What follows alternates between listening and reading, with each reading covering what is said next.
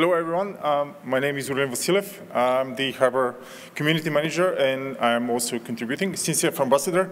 I work at SUSE as a technology advocate. Um, my aim today is to show a little bit about Harbor and SBOM. So who of you know what SBOM is? Right, okay, I'm in the wrong room then.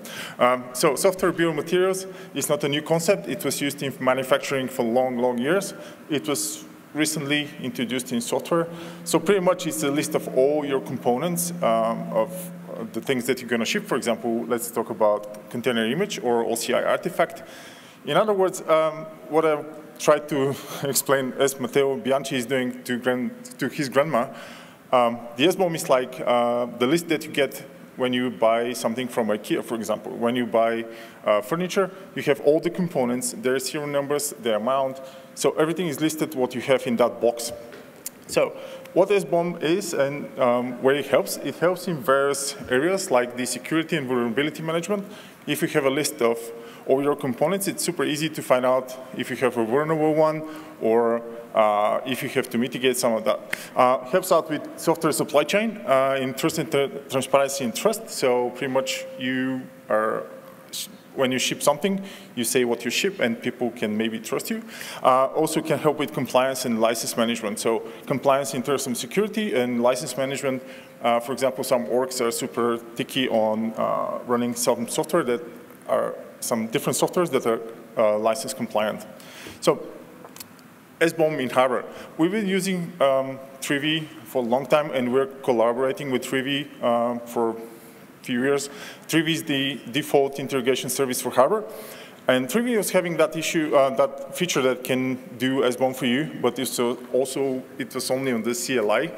And now we have that in Harbor. So um, how that works, you push your image in Harbor, and you can create SBOM with single click, or you can set up your Harbor to do that automatically for you.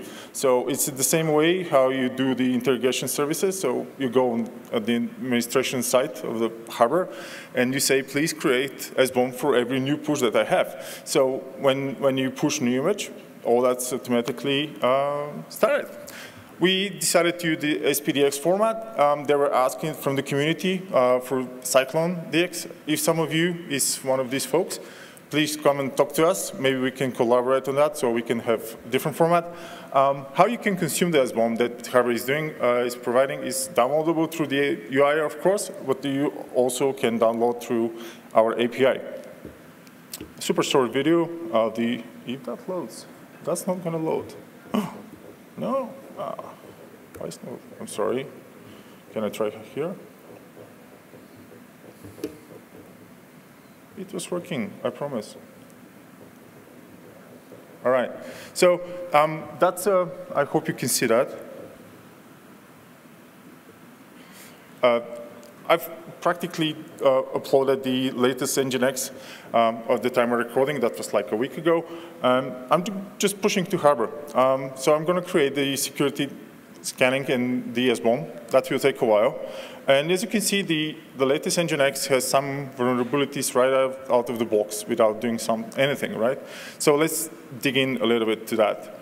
Um, to do that, you have to go to uh, over here. That's the, the actual tag, or that's the SHA for, for the latest in that, in that case.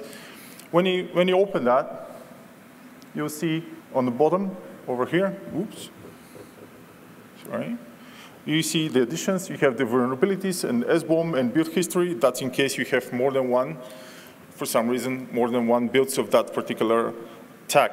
Uh, so we have few criticals and some highs. So let's take a look, for example, the first one, the, the Zlib 1G, I think. It's a critical. You can browse the SBOM from the UI like this.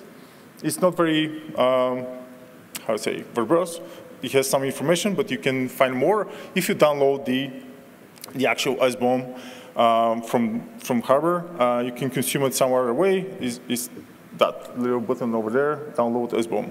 So with that,